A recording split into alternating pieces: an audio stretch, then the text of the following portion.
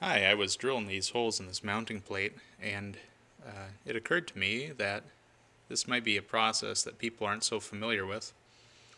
What I've done here is I went ahead and laid out what I wanted to make on this piece of steel.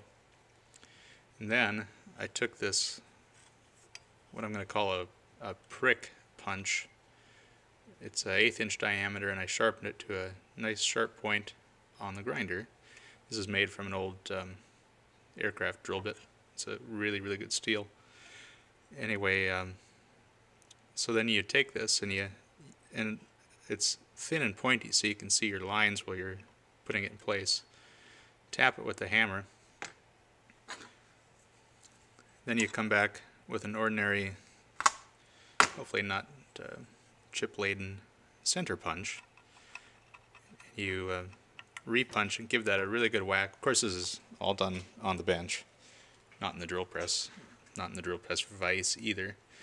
The cool thing about this, that locates those holes really, really precisely.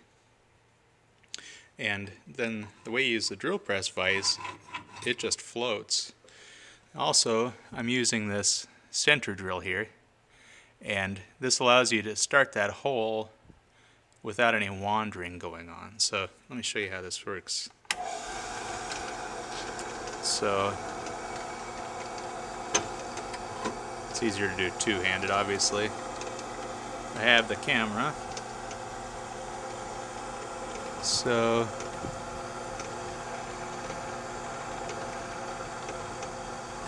just get her lined up there. And so the bit will actually pull this into place since the since the vise is floating.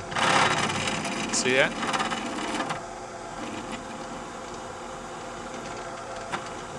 Then you can just